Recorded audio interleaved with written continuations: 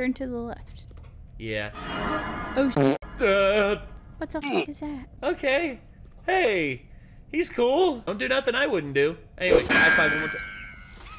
I missed. It's dark. Oh, it is very dark. Uh, stairway to hell. Ugh. That's tempting.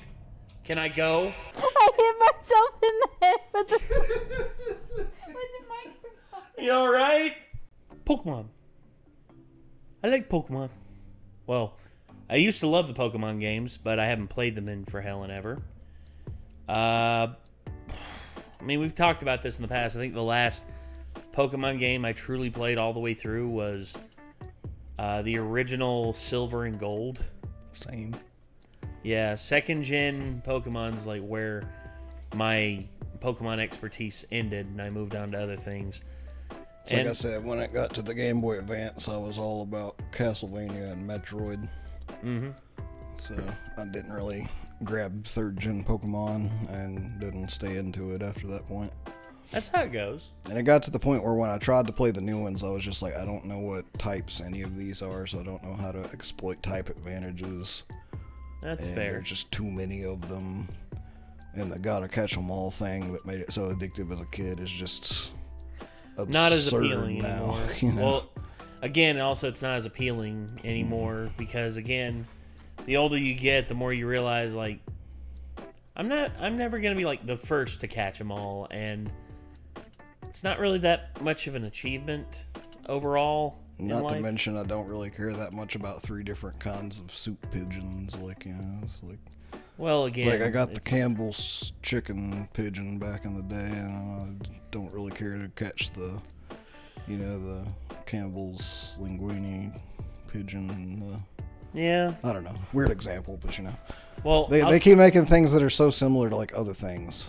Well, I'll tell you one uh, chicken that uh, that one bird that uh, Jaiden is at least very happy that uh, she caught teriyaki, who just so happens to be right here, right by her side. The her her OG from her original Nuzlocke run. Teriyaki. Yeah, teriyaki, and I always just think of the voice in my head now from uh, Duolingo saying teriyaki teriyaki. when I was trying to learn Japanese. You uh, brush up on that Duolingo. Oh gosh. I actually haven't touched it in a long time. Fair, fair. Um, there's certain things I I have I Forgot a really of wish my I would have kept up with. I remember how to say good morning, Ohio. Ohayo gozaimasu. I know, um, sumimasen is like excuse me, and I know that sayonara is goodbye. I know that uh, konnichiwa is hello. uh, uh, it's like Uh, sute. uh, Uh, is good evening. I think, I think that's how you say it. Ohayo watashi wo Nathan Hamilton. Uh, watashi wo yamani sute, which is uh, what I understand. Uh, that's uh, I hello. My name is Nathan. I'm from the mountains, which I am. I'm from the mountains, the Appalachian Mountains. Yeah, But I think it would be Nathan, like, Nesanu. because they don't have like a long A sound as far as I know. Ne Nesanu. That's probably what it would be in terms of if I conjugified it. I can't remember if there's a TH sound in Japanese or not. I I think I think it's substituted with like a s, Could like be. uh, with an s. Nesanu.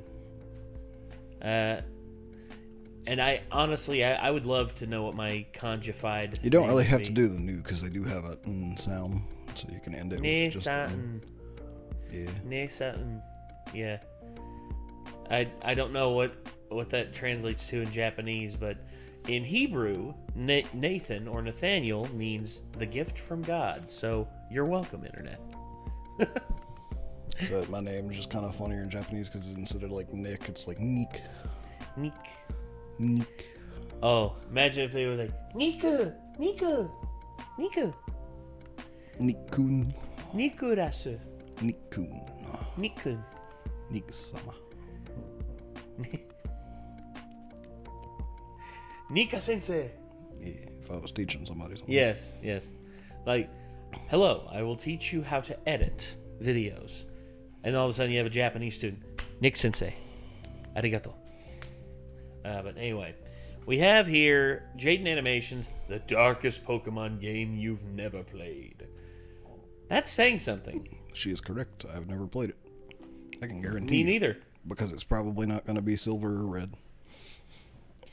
Or yellow, or blue, or gold, or yeah, again. Technically, I played silver and red, and I never really had the others. So Well, I played yellow uh, 100% through. Played blue with my friend Andrew because we we shared uh, we shared uh, the card.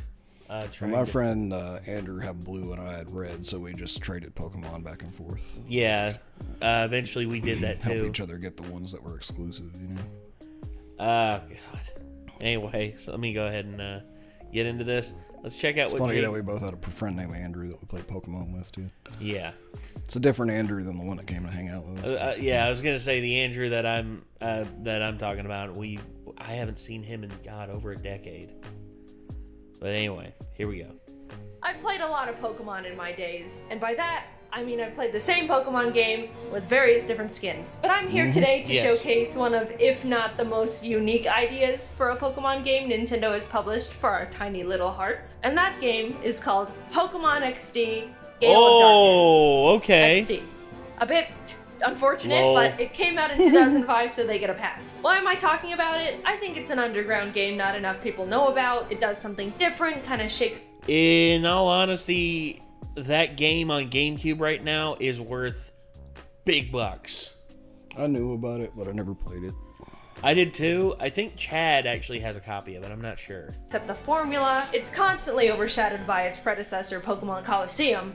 And yeah, okay, I played it as a kid. I'm very biased. Is that what you wanted? If you've not heard of it or played it, you're Jigglytuff. in for a treat today. The game opens up to a cargo boat, the SS Libra, out at sea, where we find the captain and guy who steers standing at the helm. All is calm and serene when suddenly they get swatted. And it's not no ordinary SWAT today, folks. No, sir. This is a Lugia SWAT. They run out to see what's going on, and the captain looks up and makes this face as if he wants to kiss Lugia passionately on the lips. But Lugia's not here for kisses. He's here for the opposite of kisses which is crime. He hyper beams the cargo ship and then steals it. You heard me right, just blasts the thing point blank and takes it away. Lugia's ship now. The presumably only two people on the entire boat fall Lugia into be the like, "Look water at me. and are left to I am just the captain drown now." in the ocean, I guess. Yeah, basically. Well, that was a bit raw. What Yeah. No shit. Damn, Lugia. You gangsta. What are we, a minute in and two people are dead? Gen 10 could never. Hard cut to me because that's more important. You play as this boy kid named Michael, but actually his name is Jaiden now because that's me. The game throws you into the middle of this intense looking fight between a Salamence and Metagross, both level 50. I don't know where I am, what the stakes are, who I am, but this battle seems really important and tough, so I'm gonna give it my all and immediately OHKO it. I did it! Screen goes black. I open my eyes, everything's blurry. Wake, up, Jaiden, you've been in a coma for 15 years. Turns out I live in a friendly laboratory run by this Professor Crane and his lab guys. I get up and the guy running the battle simulation tells me how good of a battler I've become. Aw, thanks, man. Then he immediately negs me by telling me it's about time I go out and get myself more Pokemon besides my one lame Eevee. Backhanded compliment at a child, but I'll take it, I think. I go into Crane's office where him and my mom are talking, and he says he heard from the battle coach that my battling skills have improved dramatically, and how proud he is of me. To which my own mom tells him to stop giving me compliments and praise because I'm gonna end up spoiled rotten. I don't know what kind of a response that is to a child receiving praise. Either I'm already a cocky little bastard, or I'm being currently emotionally neglected by everyone in this building. Whatever it is, I don't think it's healthy for my mental development. To make this mother look even worse, we realize her only other child, Jovi, is missing and no one is looking for her. The world is only filled with overpowered wild rabbit animals and crazy people. No, I'm sure it's fine you haven't started looking for her. Keep doing what you're doing. I get a lead saying she really likes hanging out with family friend mad scientist Dr. Kaminko, so I head over to his house and I'm about to knock on his creepy door when this tiny little blind man, Chobin, the doctor's assistant, walks up and is like, Burglar! and challenges me to a battle, to which I win because he only has a level Oh. 5 Sunkern. Jovi comes out and is like, Oh, hi, big brother, it's Jovi. Did you get lost, big brother? Silly big brother, Jovi will guide you back home. Alright, I see why no one was looking for it now. We Yeah. return home to the lab and they present me with a snag you go. machine. A machine that allows the user to catch shadow Pokemon, which are Pokemon that have been so abused that they turn evil. Now, they're saying they haven't seen or heard of any shadow Pokemon that exist anymore because they've all been purified years ago, but who knows when they could start popping up again? Better be safe than sorry. Bam! Some guys from a secret organization called Cypher bust into the lab, beat everyone up, steal Professor Crane, show off their shadow Pokemon, and run off to their secret base to never be seen again. Well, I'll be. The lab is in shambles, not knowing what. I'm gonna say, man, just come in there, gangbusters, just being like, we're gonna steal this guy. It's like, okay, uh, any knowledge? Why? Okay, they're getting in there, and they're gone. Huh? Did they just have shadow Pokemon? Wow, this thing's really gonna come in handy. Ah, I see what they did there. what to do, but then That is decides what they're we gonna call- complete their pure. Lazy writing.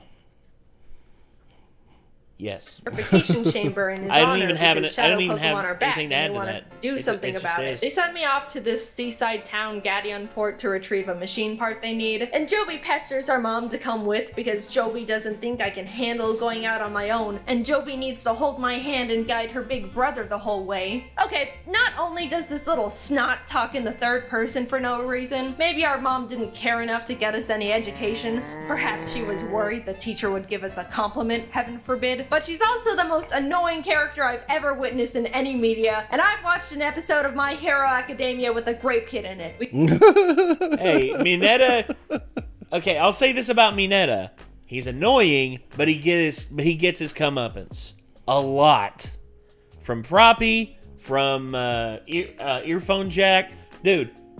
He gets his ass kicked a lot. Also, uh, I I raise those uh, stakes, and I would say that uh, Navi from Ocarina of Time is quite a bit more annoying than that. Because, hey, hey, listen, listen, hey, Yeah. hey, listen. Like, like, shut up. Also, like I, I don't like Mineta's like lechery and stuff, you know. Yeah, he's a lech. Don't get me wrong. But there are also characters that just are obnoxious because of their voices in anime a lot too. Yeah, Can't stand it. I really couldn't stand Naruto with the English dub originally. It was like, believe it. it's like an acquired taste. Like I had to get to the point where I could just kind of look past it before I could And- finally enjoy look, the show. May- Maile Flanagan, I think that there aren't very many people who can do the voice convincingly in English, and Maile Flanagan does a good job as Naruto. But God, oh, the writing needs the writing needs a definite punch up in terms of just like not repeating the same thing over and over again, and also, you know, giving Naruto better stuff to say overall. Mm-hmm. Anyway, sorry. We go to Gateon Port, and not two seconds pass until Jovi pisses off this random guy, Zook, who happens to be the buffest man in the world. He's about to punt her, and I'm about to do nothing about it. Yes. When this old man and his color coded henchmen step in and obliterate his shadow Zangoose. Old man, I was about to be free of everything that is bad in my life, and you took that away from me. We get the part Yes. back, and mom tells me about this spot in Agate Village called the Relic Stone where you can naturally purify Pokemon. I don't know why you're making your own purifying chamber then when there's a rock that already does that. I go to Agate, and this very enthusiastic man with a Pikachu shows me the stone, and I'm like, cool. To which he's like, by the way, my friend Vander might know where Cypher took Crane. Oh, Okay. Okay. I go talk to Vander and he points to this random spot in the desert on my map and is like, oh, they're right here. I saw them. What were you doing out there? That's literally just sand. Wow, would you look at that? A headquarters. Huh. I start infiltrating the base, battling all the grunts that fall from the ceiling. So either lazy shadow writing or that guy is part of the bad guys team. That's uh, yeah. I wonder what. I wonder if that will come back in the. I don't know. I haven't played this game. I find. Until I reach Pink Hatsune Miku, who's trying to get information out of Crane about purifying shadow Pokemon. I battle her and win, which means I get to unkidnap him, and while heading out, I find this data ROM on the ground. Huh, this seems very important and like it has a lot of secret information about Cypher on it. Convenient. Brain returns to the lab and everyone's happy, and then they send me to Pyrite Town to find Net, a guy that should be able to crack the ROM and access all the information on it. So I head there and he's like, yeah, we can crack this, smile. While he's hacking it, I go out and play around in a random cave and run into Mirror B. This guy doesn't do much in this game, honestly, but I just want to make sure you know he exists and listen to his music.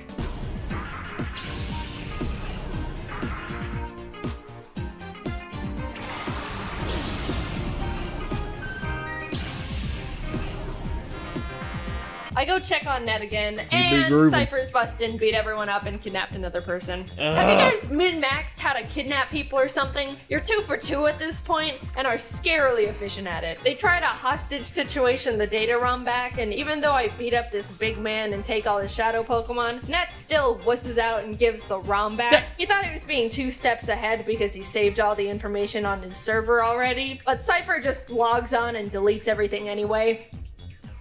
Net says the only thing he remembers from the ROM was that Cypher was behind the disappearance of the SS Libra, and they're about to attack this city nearby called Phenac, and someone needs to go warn them. That'll I be guess you, I'm protagonist just Mr. man. Scooter across the desert and save everyone today. It's like wow. it's like this this mission literally said, "Give to Protag." Here you go. God dang it! I don't want to do this anymore. I I? also I like how there's Phenac. always like you know adults in these games when there's like these situations Oh yeah. Going on that are, Someone like, gets kidnapped. very Send the bad, child. and they're like send the kid. yeah. Someone gets kidnapped. Someone gets a bunch of shit stolen. Oh, cyber This town is literally about to be attacked by terrorists. Yes. like Send send, the child. send the kid. Yeah. To warn the mayor about the attack, and as soon as I arrive, this lady hits me with a confetti cannon, congratulates me on being the millionth visitor to the city, and shoos me away to celebrate at Realgam Tower. I try to get around her because this is important, but she's determined to gatekeep me no matter what I do. So I just go there and realize she literally sent a child to illegally gamble his life away. Wow! No one in this region likes children, do they? After not being able to figure out how to play bingo, I head back, sneak into the mayor's house, distract his house sitter with music, and find out the mayor was trying to write a note to Justy, the city's gym leader, warning him about the Cypher attack. I don't know why the mayor was trying to ask this random gym guy to help, but he was kidnapped halfway through writing it, so I guess it doesn't matter. Cypher realizes I now know what's up, and everyone in town reveals themselves to be disguised Cypher grunts. Oh my god, they kidnapped the entire town. I love the fact the butterfly too. Yeah. Butterfly's just like, don't mind me. I'm just wanting to pollinate the flowers. Never mind, you're going to die. I don't care what kind of organization you're from. If you can successfully kidnap a village, you've earned my respect. I beat up Cypher, rescue their shadow Pokemon, and free literally everyone in the town who is locked in the city basement. Justy says he saw something suspicious going on in the desert and points to another random sand spot on my map I should go investigate. Honestly, how are all these people just stumbling onto these shenanigans in the middle of the desert? And why Oh, are wow, they able to give the latitude longitude of these locations after finding them? This has got to be like tens of miles out from any sort of civilization. This is where people run out of gas in their car and then shrivel up and die before anyone can find them. why were you here? Wow. Yep, that's the cargo ship. How did you find this? Alright, what is so enthralling about this desert that crime and vigilante justice is constantly going on in every square inch of this place? Cypher's running around on the ship, and after I take their shadow Pokemon and chase them out, this group of strangers calling themselves Team Snag'em walks up and roofies me. I wake up, realize they stole my snag machine. This random old man who just started living in the wrecked boat said he saw them head off in that direction and points to the middle of nowhere on my map again.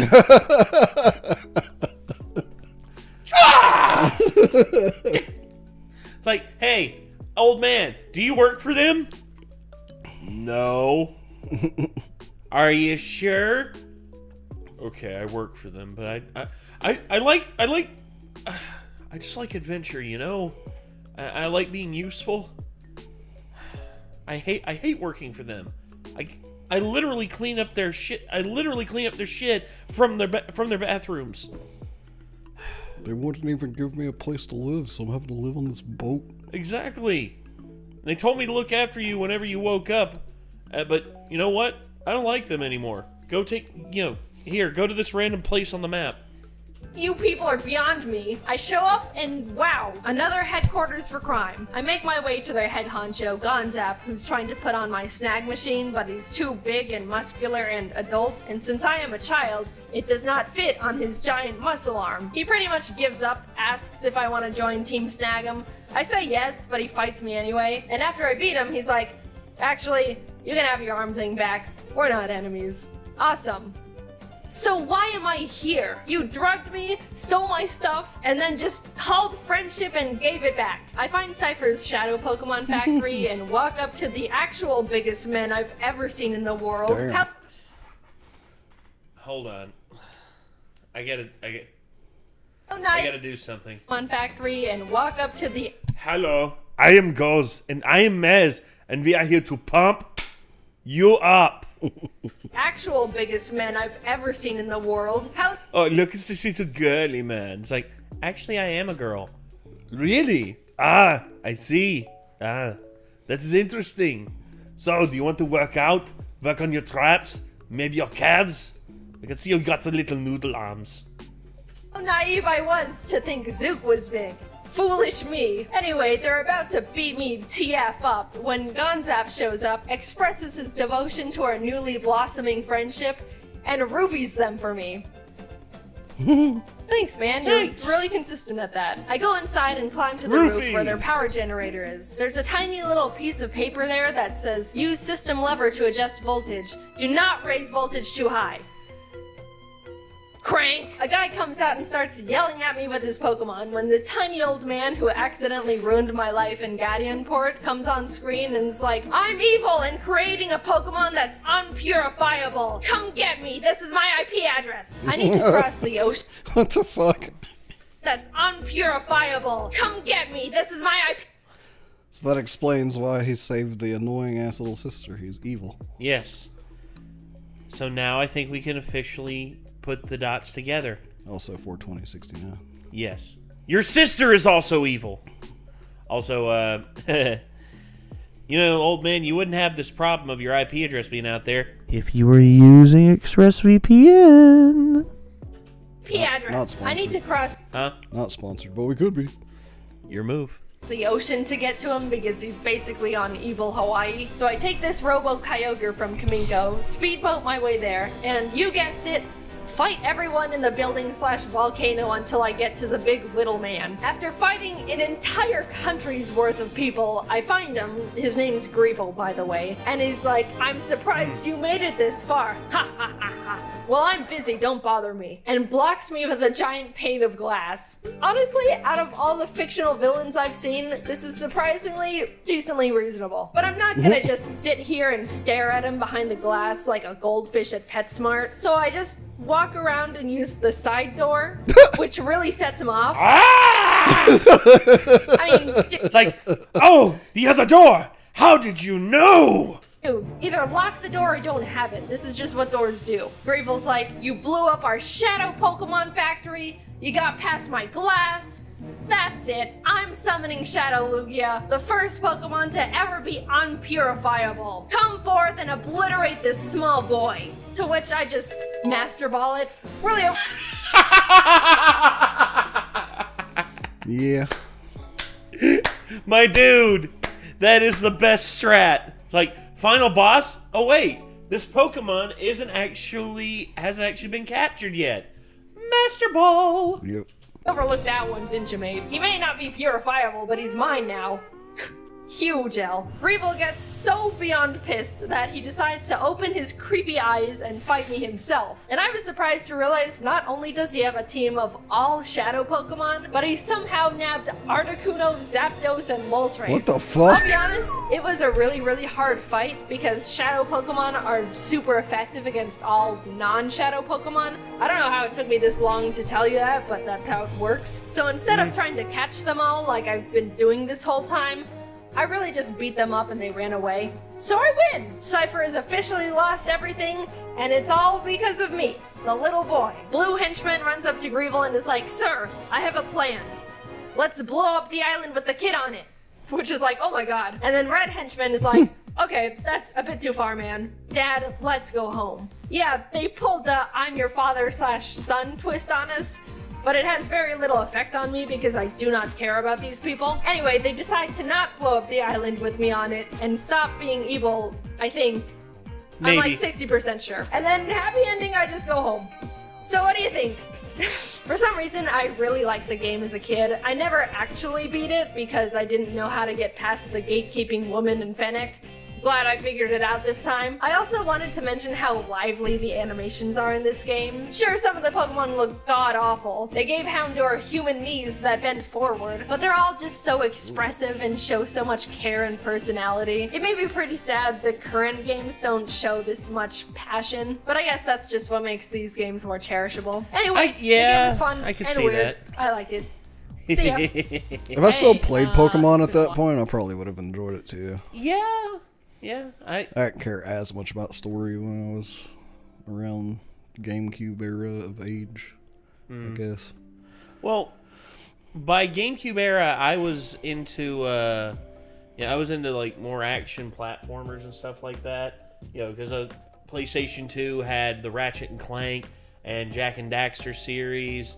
Uh, also, there were a bunch of like again, also Beautiful Joe. Uh, I'm looking up at my collection that I have up there of uh, the various uh, uh, Nintendo games. Also, on my GameCube, Smash I Bros. played through. dominated a lot of my attention during during GameCube. With my GameCube, I played through Super Mario Sunshine, uh, Beautiful Joe one and two, Nice, um, Twin Snakes, Metal Gear Solid, very nice. um, Eternal Darkness, Yes, and Luigi's Mansion.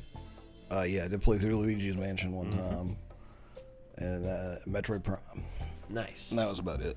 The Metroid Prime series is the next one that I'm probably going to start aiming at getting on uh, my GameCube collection because uh, I know that they have the the trilogy on uh, you know all together on uh, what is it Wii. Wii U Yeah, it's Wii. or okay Wii, but I got to be honest, I I would just really like to like have. Just to be OGs. honest, the Wii is actually the definitive way to play them. Though.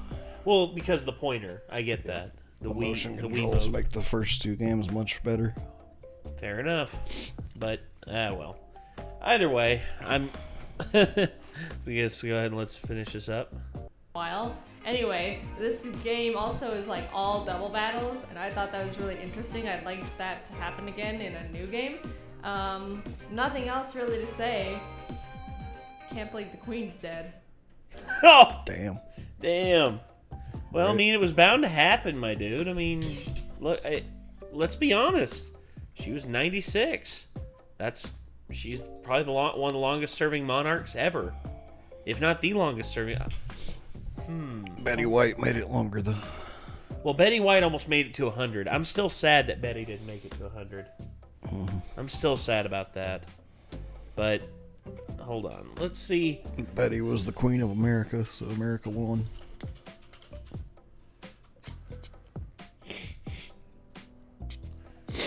So, oh, so King Louis. Well, again, that one technically just shy by two years, but less than two years.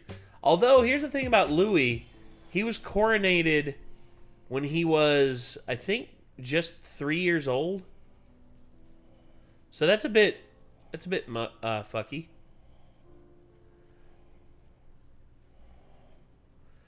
When was he coronated? Okay, coronation. Oh no, I was wrong. Not three. He was eleven. Oh, okay. He. So I was about to say, a three-year-old king. It's like, what does the king decree? Oh no! Wait. the king decrees he wants more animal crackers. Hold on. Wait. He technically wasn't coronated, but yet his reign was from six. Okay, he was officially made king of France when he was five, but he wasn't coronated until like. Hold on. That that's kind of no. That's bullshit. You have to be coronated in order for you to officially be king I don't know how all that works. coronations well again it wasn't like uh, elizabeth was queen uh, was queen the very moment after her father died she had to be coronated in order to become She was the she was basically like queen in name only, but you have to be coronated in order to officially be king or queen. I mean that's why there's uh, there's a dispute over certain monarchs because they even though they were king or queen because of the death of somebody because they were never officially coronated their eh, their uh, their uh, reign is disputed. That's that's kind of BS because if that's the case, Louis uh, Louis the Fourteenth would have only been king for around six around uh yeah sixty one years instead of seventy two years. So that's kind no that's I don't count that. Queen Elizabeth is the longest serving monarch ever. From her official coronation, yeah, from her official coronation until her untime, un, oh, I shouldn't say untimely, but until her passing. Where's the one? Uh, it's uh, so, uh, Swaziland. I forget the. Is King Sobhuza from Swaziland? I think he's one of the. Uh, oh yeah, there he is. Longest reigning.